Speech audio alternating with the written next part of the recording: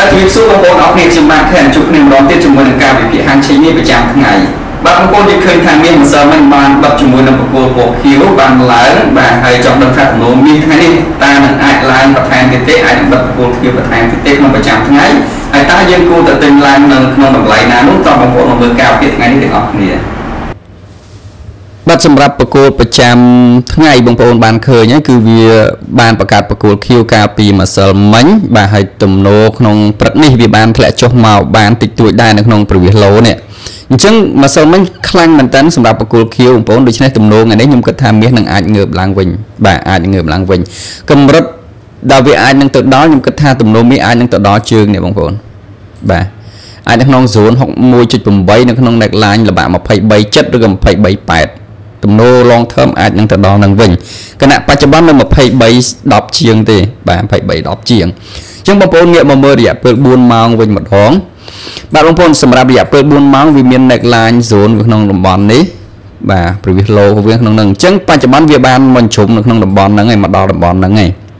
អ្វីដែលយើងរងចាំមើលគឺ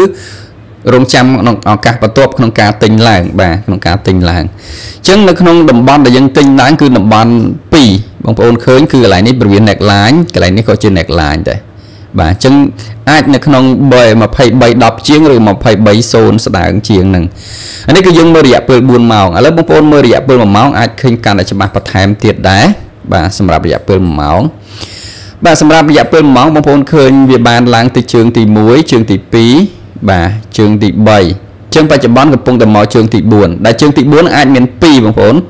អាចនឹងត្រឹមជើងកម្រិត23 10ជាងបាទវាមាន neckline នៅហ្នឹងឬក៏អាចមកដល់កន្លែង low នេះតែម្ដងគឺនៅ23.0ស្ដើងអញ្ចឹងតំបន់ដែលយើងអាចទិញឡើងមាន2បាទក្នុងរយៈពេល1ម៉ោងមានបកគោល Q ក្នុងតំបន់បច្ចុប្បន្នហ្នឹង23.10ជាងហ្នឹងគឺយើងនឹងទិញឡើងពេលហ្នឹងតែតែម្ដងគោលដៅ23.7ជាងហ៎បាទអាហ្នឹងតំបន់ដែលយើងអាចទិញឡើងតំបន់ទី1 បាទនៅ2309និង2310ស្ដើងប៉ុន្តែបើវានៅតែចុះបន្ថែមទៀតតំបន់ដែលយើងអាចទិញបានទី2គឺនៅក្នុងកម្រិត2303ឬក៏2300ស្ដើងនឹងឯងអាហ្នឹងគឺតំបន់ដែលយើងអាចទិញបានម្ដងទៀតបាទអញ្ចឹងខ្ញុំរងចាំឱកាសទេបងប្អូនបើសិនជា ក្នុងពេលបច្ចុប្បន្នហ្នឹងវាបង្កើតប្រគួរខៀវក្នុងហ្សូនបច្ចុប្បន្នហ្នឹងគឺខ្ញុំនឹងទិញឡើងពីឥឡូវទៅនឹងតែម្ដងបាទ 2309 2310ជាងនឹងប៉ុន្តែបើសិនជាវាអត់មានសញ្ញាបកគោល Q ទេខ្ញុំរឹងរងចាំឱកាសថ្មីនៅ230ស្ដាងឬ2303បាទនេះគឺឱកាសដែលខ្ញុំអាចទិញឡើងកម្រិតបន្ទាប់បាទ long term រយៈពេលយូរមាសនៅទំនោរអាចឡើងខ្លាំងបន្ថែមទៀតបងប្អូនបាទព្រោះវាបាន break previous high ហើយនេះ break កម្ពុជាចាស់ បាទអញ្ចឹងវាត្រូវ break មកវាអាចមក pull back មកវិញបានឡើងទៅលើបន្ថែមទៀតអញ្ចឹងកម្រិតដែលអាចមកដល់អាចនឹងក្នុងតំបន់នេះឬក៏តំបន់2នេះបាទអញ្ចឹងត្រៀមទិញឡើងបាទសម្រាប់ថ្ងៃនេះត្រៀមទិញឡើងគោលដៅគឺអាចរយៈពេលយូរទៅទៅខ្លាំងបងប្អូនបាទអញ្ចឹងបងប្អូនអាចមើលរយៈពេល1ម៉ោងទៅបើសិនរយៈពេលខ្លីរយៈ30នាទីវាអាចនឹងមានអឺបាទ zone break high នេះ pull back មកក្រុមតិចតួចចាំបាយទៅក៏បានប៉ុន្តែបើខ្ញុំចង់ឲ្យ confirm សុវត្ថិភាពមកបងប្អូនមើលរយៈពេល1ម៉ោងហ្នឹងទៅ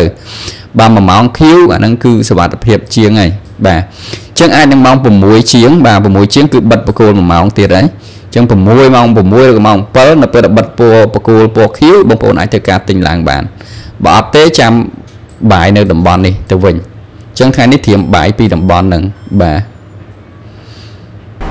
បាទសម្រាប់បងប្អូនដែលចង់ទទួលបានការប្រឹក្សាខ្ញុំបាទតបពាក់ព័ន្ធជាមួយនឹងហាងឆេងមានប្រចាំថ្ងៃចំនួនមានប្រចាំថ្ងៃពិសេសតើថ្ងៃនេះយើងគួរទិញគួរទូដងនៅក្នុងតម្លៃណានោះបងប្អូនគ្រាន់តែប្រកាសគណនីតាមរយៈខ្ញុំបាទ Mastercard បាទនោះខ្ញុំនឹងអែបបងប្អូនចូលក្នុងក្រុម VIP Signal របស់ខ្ញុំហើយខ្ញុំនឹងផ្ដល់ Signal តម្លៃចេញចូលផ្សារ